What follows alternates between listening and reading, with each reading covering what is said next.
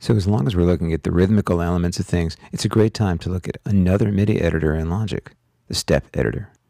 Its strong point is allowing you to work very precisely on a flexible grid. I'll start by selecting this region which contains a sustained pad chord, opening the editors with my D key command, and choosing Step Editor.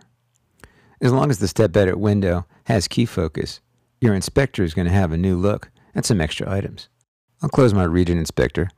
I've got something called the lane inspector, and above that a place to select lane sets. For starters, there are two sets to choose from. MIDI controls is preset for volume, pan, pitch bend mod, etc., and a set for the notes of a general MIDI drum kit. But you can create your own sets. The MIDI control set contains individual lanes for some of the most used MIDI performance controls. Select a lane here, and the lane inspector gives you a detailed look at all that geeky MIDI stuff. That's one status byte, two data bytes. What am I and what channel? What type of event? And then the momentary value. So, this is controller 7, this is controller 10, and this is controller 1. Any events in this lane would be the momentary value of the mod wheel. So, I'd like to create a, a tremolo effect on this pad sound. That's a slow rhythmic change to the volume of the sound. Volume is MIDI control 7. We're going to be working on a grid. When you select a lane, the lane inspector shows you an initial grid value. In this case, the initial grid value is 8 notes.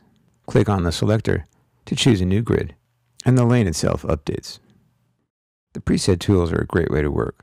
The pointer tool is set as the primary tool, and the pencil is the secondary or command click tool. With a 16th note grid and a pencil tool, I'll drag over the lane, and I'll create a bunch of events and adjust their height simultaneously. Once events are penciled in, just use the pointer tool to continue to adjust their height. It won't add any new events. It's just adjusting the volume at each moment. You can select individual events with the pointer tool, and of course, delete them.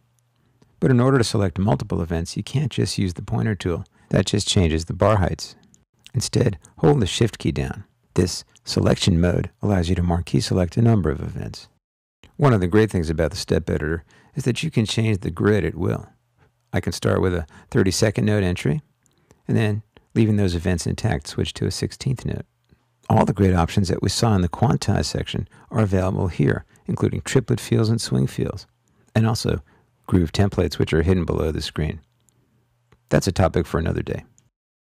So to start my little tremolo effect, I'm going to switch over to an eighth note grid. I'll hold shift to select these events, delete them, and away we go. Let's see, high volume, low volume, high volume, low volume. And I'll change it up for the second half over here.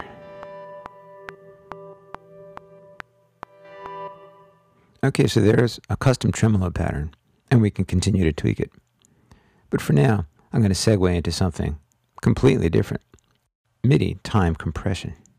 I programmed this pad tremolo before I got into my mute guitar part, which is really a half-time feel.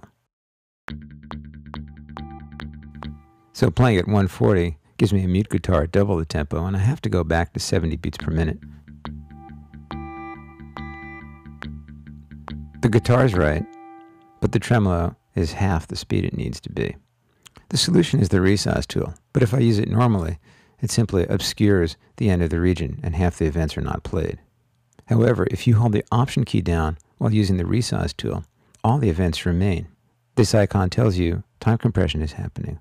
All the events remain in the region, but they're now happening twice as fast. That's because I time compressed to half the original length. So I'll loop and listen.